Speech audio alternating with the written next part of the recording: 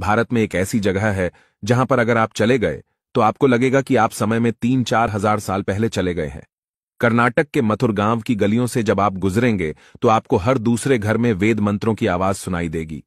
गली में खेलते हुए बच्चे जहाँ आपको धोती और शिखा में दिखेंगे, वहीं पड़ोसी एक दूसरे से संस्कृत में बात करते हुए। तुंगा नदी के तट पर बसे मथुर गाँव में आपको पेड़ के नीचे गुरु और शिष्यों की गुरुकुल परंपरा भी देखने को मिल जाएगी।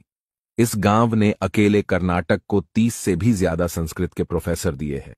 और कई शहरों के बच्चे यहाँ पर संस्कृत सीखने आते हैं, वो भी फ्री में।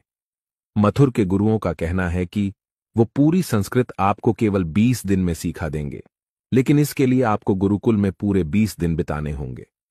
मथुर में ना कोई होटल है, ना रेस्टोरेंट, ना कोई गेस्ट हाउस। यहाँ के लोग वैदिक काल की ही तरह अतिथियों के रहने का प्रबंध अपने घर पर ही करते हैं। देखने और सुनने से लग रहा होगा कि ये गाँव आधुनिक प्रगति से कितना दूर है, लेकिन इसके विपरीत जहाँ इस गाँव में इंटरनेट के साथ साथ इक्कीसवीं सदी की सारी सुविधाएँ उपलब्ध हैं, वहीं आध्यात्मिक भारत की महक भी। जय सनातन, धर्म जय श्री राम।